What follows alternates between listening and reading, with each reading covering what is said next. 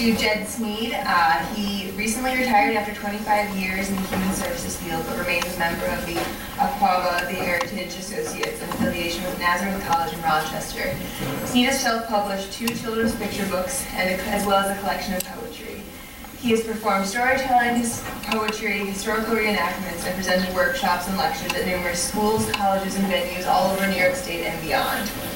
In his preparations to portray Jermain Wesley Loguen, Snead researched Loguen for many years and and at many sites. Today he will share what he learned in that search. Uh, please welcome Djed Snead.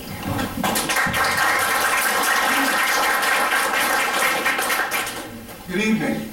Is it afternoon? Good afternoon. Good afternoon. How's everybody doing? Good. Good. I am really, really happy to be here um, for the second year in a row. Um, Can we just give everyone associated with NAHOF a big round of applause?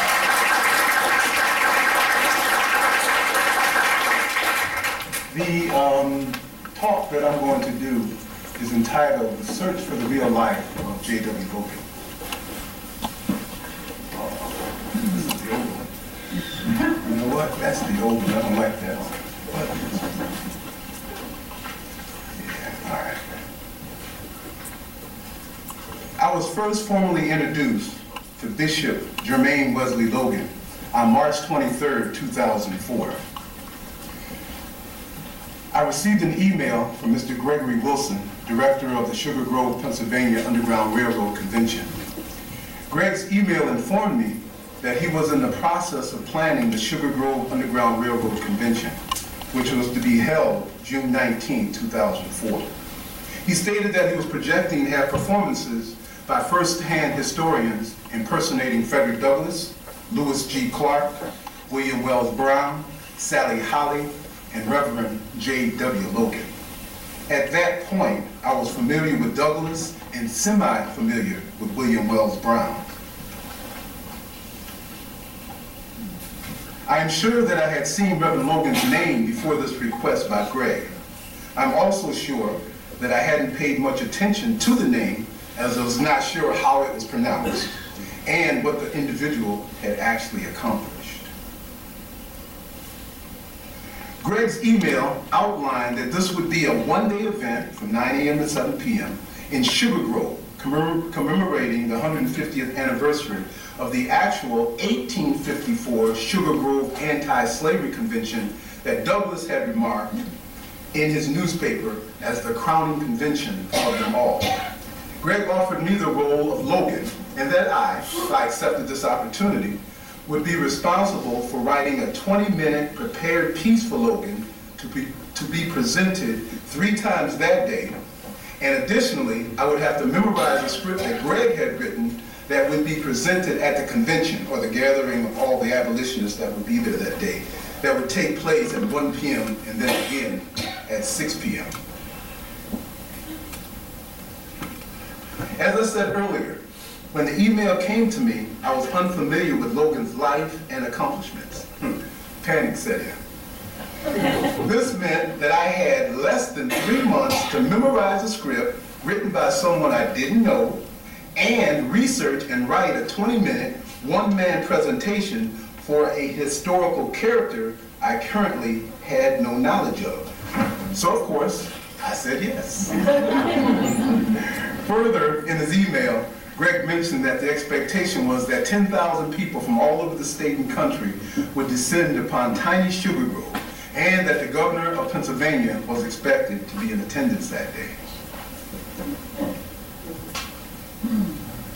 This was the beginning of my search for the real life of J.W. Loguen. The search continues to this day. I always loved words, and the written word especially. One of my favorite sayings is, words are the tools with which we think, and the more words that we know, the better world we can create. As long as I can remember, I have been an avid reader of all types of books. I grew up in the woods of Wayne County, New York, East Williamson and South Sodus specifically. And in fact, coming down here, I was reminded of East Williamson and South Sodus coming through, what's the little towns? What's the little towns around here? Coming down, uh, yeah, Morrisville, Cass, Yeah, all those little towns really put me in the mind of how I grew up, very rural. I didn't have a lot of distractions, and I did have a lot of free time on my hands. When I was in elementary school, I would get a pass and go to the library and just wander, picking up books that had interesting covers. I started writing poetry, um, what some might call poetry, in middle school. By 2004, I had self-published five chapbooks of poetry and was a regular on the coffee house circuit in and around Rochester, performing, reading my work, basically anywhere there was an audience. I was also called upon from time to time to share my thoughts as a lecturer, workshop presenter, and on various subjects and objects that impacted the African American youth and residents living in Rochester, Monroe, and surrounding counties. In the mid-1990s, I'd become aware of and decided to join the Black Storytelling League of Rochester, New York. The league had been formed by Dr. David Anderson Sankofa and others as a way to promote and care for the oral tradition of African American people. The league practiced what we call edutainment, educating our audiences to appreciate African and African American culture, but done so in an entertaining way. As I sat at the feet of these storytellers and learned the art of storytelling, I learned the freedom of not being tied down to the words of a poem or a speech. This freedom was liberating and intoxicating. I have shared, only half jokingly, in storytelling workshops that I've done, that the important thing in telling a story is learning the first line and the last line. And if you, get, and if you forget something in the middle, you make it up. in 1998, I belonged to a group of concerned citizens of Rochester that decided to form Akwaaba, the Heritage Associates. The purpose of a Akwaaba would be to specifically present the Underground Railroad and abolitionist history of Rochester, New York to students, adults, and visitors to our city. Akwaaba means welcome in the West African Twi or Akan language of Ghana. Through a Akwaaba, I became comfortable reenacting historical personalities and immersed in the telling of our story with fidelity. The telling of our story with fidelity. What this meant to the members of Akwaaba was that we individually and collectively were responsible for researching, debating, and presenting historically correct, engaging, and enlightening reenactments of historical persons and events. By 2004, Akwaaba had established itself as a premier tour guide organization and presenters of the Afro-Rochester legacy. By 2004, I had done or been part of historical reenactments of Shields Green, William Parker, Reverend Thomas James, Austin Stewart, the Fisk Jubilee Singers, Sunjata, Thurgood Marshall, Fannie Lou Hamer, and others in presentations of Akwaaba had provided. But I had not, nor had I had to research the life and legacy of a man who operated one of the most open depots on the Underground Railroad in the country. A man who published his calling card in the newspaper, informing all who could read of his activities in support of fleeing property. A man who lived only 70 miles east of Rochester for most of his adult life. A man who to this day I regard as the premier example of what it means to stake one's ground and have faith in the Lord, namely the Reverend Jermain Wesley Loguen. My search for the real life of J.W. Loguen began with Google, and of course, I found online Loguen's biography, the Reverend J.W. Loguen as a slave and as a free man, a narrative of real life. It was in the Documenting the American South website, and I downloaded it. This website is a wonderful resource for any researcher interested in slave narratives and Southern life before, during, and after the Civil War. I also found a narrative of Lewis G. Clarke, another individual who would be portrayed in Sugar Grove that year, on this website and downloaded it. I became immersed in Loguen's biography. I never personally had qualms over whether Loguen wrote the entire book or not. To me, it was obvious that there was more than one point of view and more than one voice being expressed in the book. This was a biography, not an autobiography. This also, for me, did not call into question the veracity of what was written. At this point in my quest, I was looking for the general contours of Loguen's life, and this book was my beginning place. Loguen's voice, to me, was the storyteller. The other voice, whom I later found out to be his friend, John Thomas, was the philosopher. This did not bother me at all because I began, I became engaged with the story of Loguen's life. The philosophizing was a distraction. I began to read this book to draw near to a man who spoke clearly and forthrightly about the injustices of slavery, the loss of loved ones and acquaintances, the finding of oneself and purpose in life. A man who spoke boldly of not only his right, but his obligation to claim his humanity in the face of societal, political, and religious impediments. I found more information on Loguen on the internet. It seemed to me that Loguen was everywhere and was a friend or confidant of anyone who was someone in the Underground Railroad or anti-slavery movement of the 1840s, 50s, and 60s. I asked myself, who was this man who spoke with such authority, determination, conviction, clarity of purpose, and insight? Who was this man who had been under my radar for so many years, but obviously was respected and welcomed in the most inner of inner circles of the abolitionist movement? Who was this man of action, not just words and pomp? Who was this ex-slave from Tennessee, only somewhat literate, but boldly claiming and living out his manhood on his own terms and testifying to his God-given right and responsibility to define that manhood against any who would trespass against it.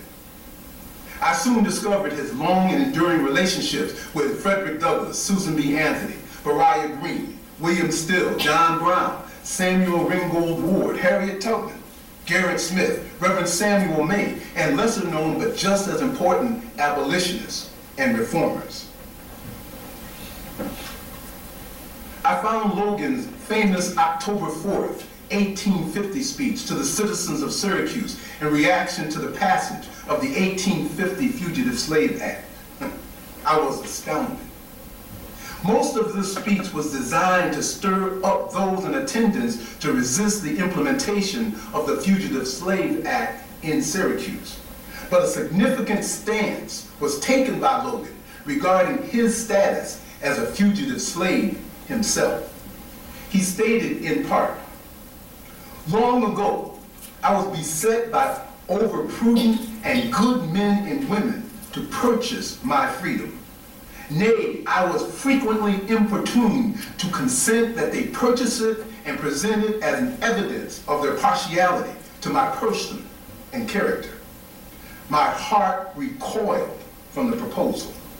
I owe my freedom to the God who made me and who stirred me to claim it against all other beings in God's universe.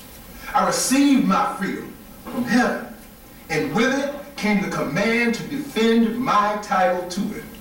I have long since resolved to do nothing and suffer nothing that can in any way imply that I am indebted to any power but the Almighty for my manhood and personality. Hmm. JW. This was a deciding act of independence that, for me, separated Reverend Loguen from many of the other ex-slave abolitionists and agitators of his time. Loguen's insistence that no one be allowed to pay any man for his freedom put his freedom and his liberty in jeopardy. Essentially, Loguen's position was his personality, pure and simple, separated him from being hog-tied and taken back into slavery. And for Loguen, this was sufficient. Upon reading this speech back in 2004, as is true today, I thought to myself, I am a black man living in an imperfect America. A country which has not dealt squarely, fairly, or honestly with its racial legacy. What kind of black man did it take to take a stand like this in America in 1850? I asked myself, after reading Loguen, Loguen's Declaration of Independence, October 4th, 1850, had any other African American spoken as clearly, as directly to the powers that be, that not only was he or she not afraid of them, but that he or she would fight with and by whatever means were necessary to maintain their rights and liberty. David Walker came to mind, but he was born free and never knew personal slavery. Frederick Douglass came to mind, but as is well known, he allowed friends from England to purchase his freedom. Nat Turner and other insurrectionists and leaders of slave revolts knew slavery firsthand, but were unable, or perhaps unwilling, to rally white support for their efforts. Martin Delany was born free. Perhaps Dr. Martin Luther King and Malcolm X wrote and spoke and lived as adamantly about African American equality and rights as Loguen. But living in the 1960s, they could not be claimed legally the property of another. None of them could have been legally arrested, incarcerated, denied the ability to testify in their own defense, and tried and possibly returned to a state and order that did not recognize their humanness, but saw them only as property. As part of my preparation to present my one-man prepared piece of Loguen for Sugar Grove that June, I meditated on the thought of what did it take to escape an environment of violence with one's humanity intact, and thereafter acquire education, property, a family and friends, and, and impress the citizens of a city like Syracuse that they should join you in denouncing and make null and void a federal law duly passed by the government of the United States of America. I began to see that Loguen lived the principle that allegiance to God is man's greatest command. I began to understand who I was being asked to impersonate. I found the 1860 letters of correspondence between Loguen and his former so-called owner, Sarah Logue. Mrs. Logue demanded money from Loguen, $1,000, or she threatened to sell her rights to him and informed him that she had an interested buyer. She wrote him that she had to sell his brother and sister and 12 acres of land because he had ran away. In his written reply to Mrs. Logue, Loguen indignantly called her wretched and defiantly chastised her for selling his siblings. He informed her that, and this is a quote, human rights were mutual and reciprocal, and if you take someone's liberty and life, you forfeit your own liberty and life. These letters were widely reprinted in the contemporary press. The tenor and boldness of his statements informed me as to how Reverend Loguen must be presented. Hmm, let me be honest. I was also looking for his flaws, his shortcomings, his weaknesses.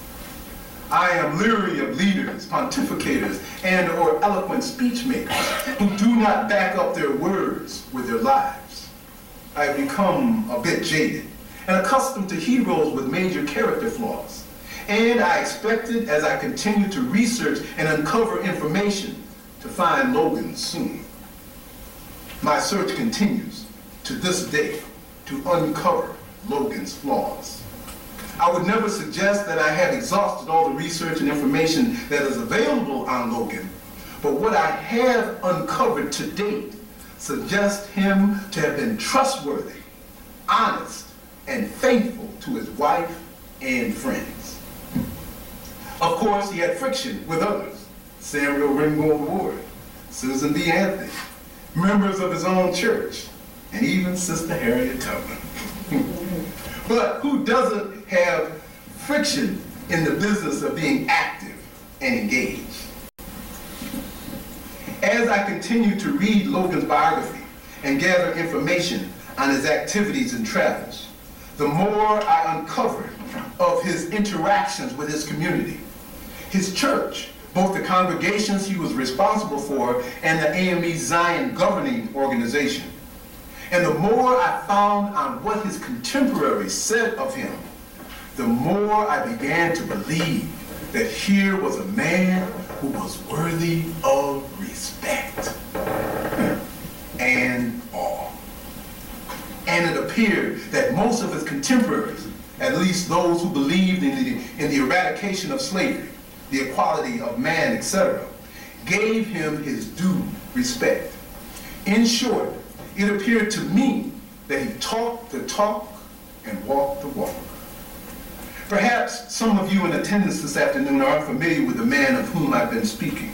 So please allow me to quickly share a brief overview of Reverend Loguen's life and work. Perhaps some of you who are in attendance this afternoon are unfamiliar, then I started that, right? Oh, here we go.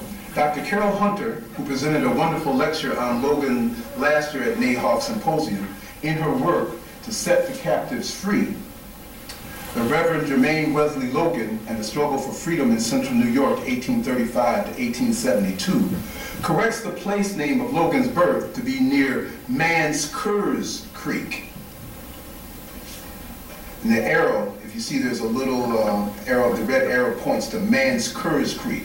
Instead of the Manscoes Creek Loguen writes about in his biography.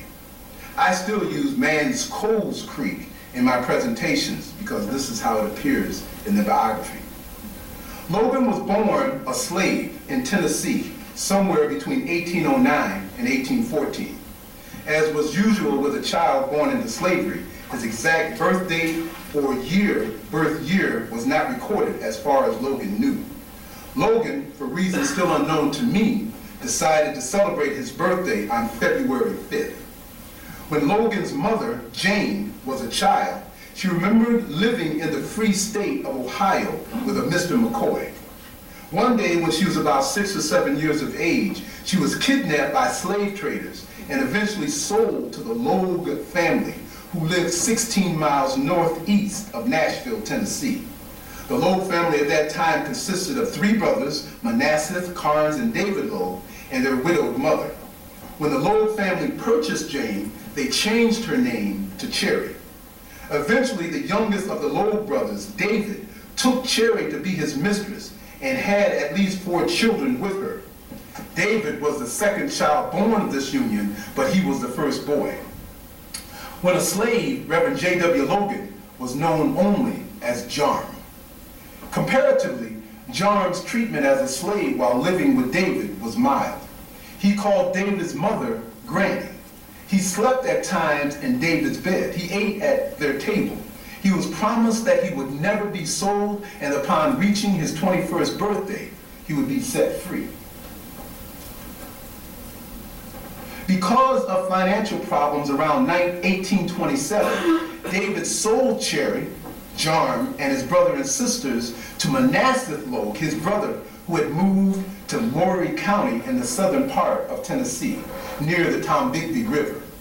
John was about 14 years of age, and this was the first time in his life that he was used as a field slave. With Cherry's help, he learned to be a field hand, but never resigned himself to being a slave. After many brutal incidences, Loguen decided to run away from slavery. He and his best friend John Farney, with the help of a young white man they paid money to, made plans and on Christmas Eve, 1834, they rode away from slavery on ten- and Tennessee on horseback. After months of getting lost, almost starving, and being recaptured, Loguen and Farney finally made it to Detroit, Michigan. They both crossed over to Windsor, Canada, and to Freedom. But John Farney decided to go back to the livery, livery stable in Detroit where his horse was. The owners of the livery, believing he was an escaped slave, attempted to keep his horse as they felt he wouldn't dare complain to anyone. Loguen waited several days, but never saw John Farney again. Loguen spent three years in Canada learning to become independent, and he bought land and saved his money. He learned to read and write and eventually took the name Jermain Wesley Loguen to be known by. Loguen moved to St. Catharines and purchased a house before returning to the United States. In 1837, Loguen moved to Rochester, New York, and worked at the Rochester House Hotel as a waiter and porter. From 1839 to 1841, Loguen attended the Oneida Institute in Whitesboro, New York. This school was integrated with white, black, and red students and was led by Reverend Beriah Green. Loguen first professed religion while attending the Oneida Institute and joined the AME Zion Church in nearby Utica, New York. Hmm. Loguen met Caroline Elizabeth Storum of, Bus- of Bustard, New York, in Utica, New York, while he was teaching Sunday school. They were married in 1840. Loguen moved to Syracuse, New York to teach and minister to the colored people of the city, and Caroline joined him in Syracuse in 1841. Loguen's first pastorate was in Bath, New York in 1843. He held successive pastorates in Ithaca, Syracuse, and Troy, New York. Loguen rose through the ranks of the AME Zion Church and was ordained a presiding elder in 1848. Concurrent to his church work, Reverend Loguen became a sought-after anti-slavery speaker and stumped for the Liberty Party in the 1844 and 1848 elections. Eventually, the Loguens purchased a home at 293 East Genesee Street at the corner of Pine in Syracuse. This residence became an active depot on the Underground Railroad. Loguen states in his biography that he and his wife aided some 1,500 slaves, fugitives, during the operation of this depot. As I mentioned previously, in October 1850, Loguen rallied the citizens of Syracuse to effectively annul the Fugitive Slave Act of 1850 and make Syracuse an open city. This means that escaping slaves who had made their way to Syracuse would not be returned into slavery, and they would be aided and abetted by the citizens of Syracuse. On October 1st, 1851, Loguen and other members of the Vigilance Committee of Syracuse, along with approximately 2,500 citizens, rallied in the streets of Syracuse to free William Jerry Henry, who had been arrested and incarcerated under the Fugitive Slave Law. Loguen and the citizens of Syracuse forcefully removed Jerry from the police station where he was being held by battering down the door of the jail. Jerry was hidden in various homes in Syracuse for a few days before being sent on his way to Mexico, New York, and then he traveled to Oswego, New York, and across Lake Ontario to Kingston, Ontario, uh, across Lake Ontario to uh, Kingston, Ontario, and freedom. The United States government attempted to make examples of the rescuers of Jerry, and many of them, including Loguen, were indicted. Loguen, against his will, but to satisfy his wife and friends, left the United States in October 1851 and went to St. Catharines, Canada. Loguen was never tried on the indictment. He returned to the U.S. in the spring of 1852 and resumed his work on the Underground Railroad, in the AME Zion Church, and in the Color Convention movement. Loguen was a supporter of women's rights and the full and immediate end of slavery. Once the Civil War broke out, and after President Lincoln issued his Emancipation Proclamation, Loguen became a successful recruiter for the Union Army. After the Civil War ended, Loguen traveled south to Tennessee, setting up schools and churches and to minister to the newly freed men and women. He lectured and raised money in the North for their support. He recruited teachers to travel south to help the freed men responsibly enjoy their freedom. Loguen became a bishop in the AME Zion Church in 1868 and continued his work supporting workers' rights, equal rights for women and blacks, and financial support for educational opportunities for the freedmen of the South. Suffering from tuberculosis, tuberculosis, Bishop Jermain Wesley Loguen went to Saratoga Springs, New York, to take the mineral water cure in September of 1872. Loguen died in Saratoga Springs on September 30th, 1872. His body was brought back to Syracuse where he was buried October 4th, 1872 in Oakwood Cemetery. It amazed me that Loguen was buried in Syracuse 22 years to the date of his giving perhaps one of his most widely quoted speeches, rallying the citizens of Syracuse to resist the fugitive slave law of 1850. Before I continue, I would like to give a public thank you and acknowledgement to the work of Dr. Milton Sernett for promoting and presenting valuable research and information on Reverend Loguen over the years. Reading Dr. Sernett's North Star Country and Abolitionist Acts helped me immensely in fleshing out for myself who Reverend Loguen was. Also, I had kept seeing references to the article Citizen of No Mean City, but I was unable to obtain a copy of it. So, on May 16, 2005, I sent Dr. Sernett a letter introducing myself to him and inquiring as to how I could obtain a copy of the article. Within two weeks, the complete article arrived to my home. Thank you, Dr. Sernett.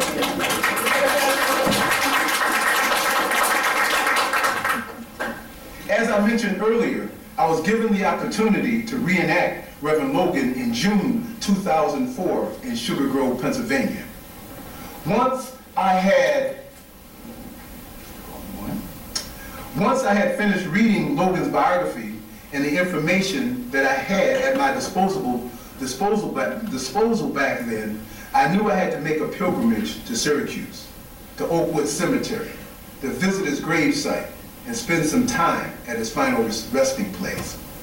In a sense, I knew I had to go to Syracuse to get Reverend Loguen's permission to present what I had discovered to the audiences that would gather in Sugar Grove later that June. I knew I had to commune with his spirit. I did not then nor now try to rationally explain why I felt this way, but I knew it was something I had to do. So my wife and I traveled to Syracuse in early 2004 and visited the Onondaga Historical Association, viewed their exhibits, and then got directions to the Oakwood Cemetery. Before leaving downtown Syracuse, Stephanie and I went to Clinton Square and photographed the beautiful Jerry Rescue Monument there. Once we arrived at the cemetery, I got a copy of the 2004 historic Oakwood Cemetery tours brochure, which was, and I got a, cop, a photocopy of the burial sites of abolitionists at Oakwood. This page included the burial sites of Samuel May, Edmonia Highgate, Joseph Sabine, Hiram Hoyt, Charles Williston, John Henry Williams, and Jermaine Loguen, buried in 1898. Hmm.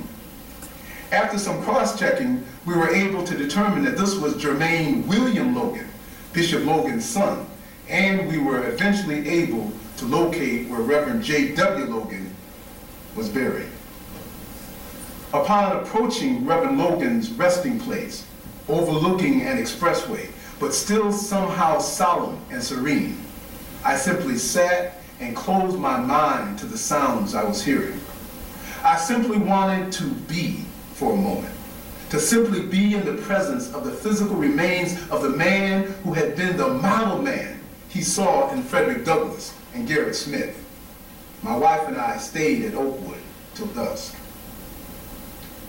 By all, by all accounts, the Sugar Grove Underground Railroad Convention of 2004 was a success. That's one of the uh, newspapers that heralded it. That's another one. Greg lengthened the event to two days in 2005 and 2006.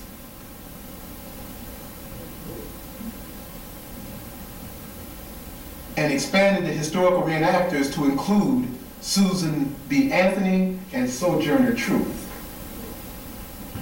I participated in all of the annual Sugar Grove conventions and came to be close to Greg and his family. My wife and I have been back to Syracuse and the Oakwood Cemetery for follow-up research several times since my first visit in 2004.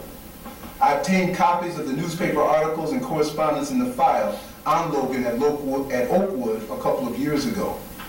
Steph and I have visited Loguen Park and seen the wonderful mural by London Ladd across the street from the park. We have visited the site of the Loguen home, East Genesee and Pine, where there now sits a wonderful, architecturally insignificant writing.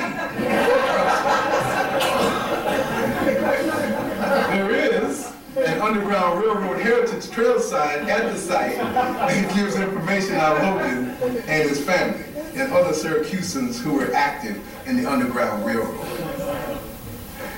Several years ago, I was contacted by a direct descendant of Reverend Loguen who lives in New York City.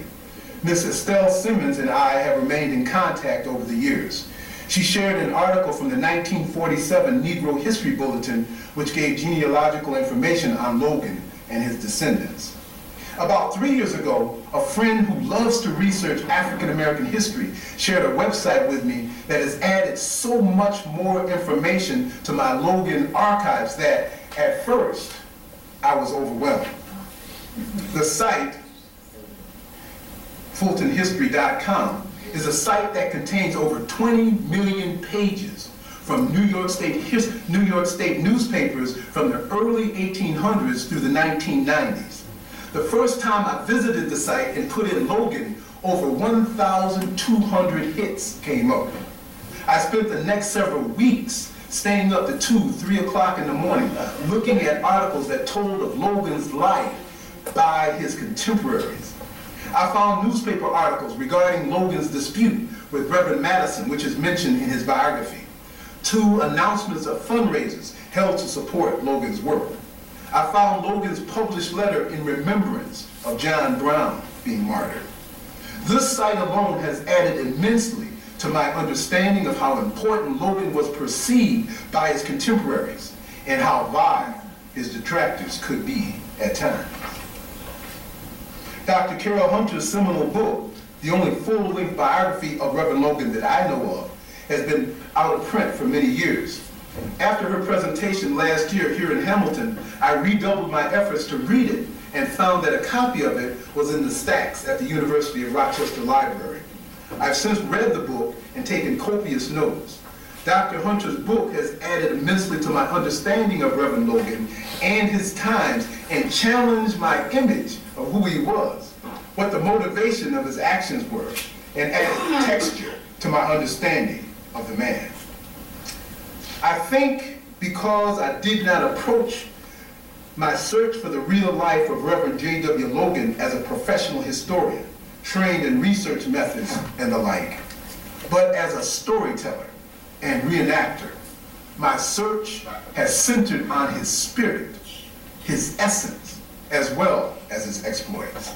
To be sure, Reverend Loguen's experiences and words are what I needed to know to be able to share his life with audiences. And I am grateful that so many of them have been documented and recorded for posterity. Additionally, though, when I stand to present a historical reenactment of Bishop Jermain Wesley Loguen, I want those in attendance to feel the man, his personality, his aura, as well as to understand his story. I'm concerned with educating my audience about the man and the times he lived in, but also about presenting the information in an entertaining way, edutainment. I have been blessed to be able to share my love and knowledge of the historical J.W. Loguen with audiences these past eight years in churches, colleges, hotels, and more. Through these presentations, I have come to be keenly aware that, in one sense, what I have been sharing essentially are the psychic connections of my experiences and those that I believe Reverend Loguen experienced. These inter intersections could rightly be called the freedom struggle. Thank you.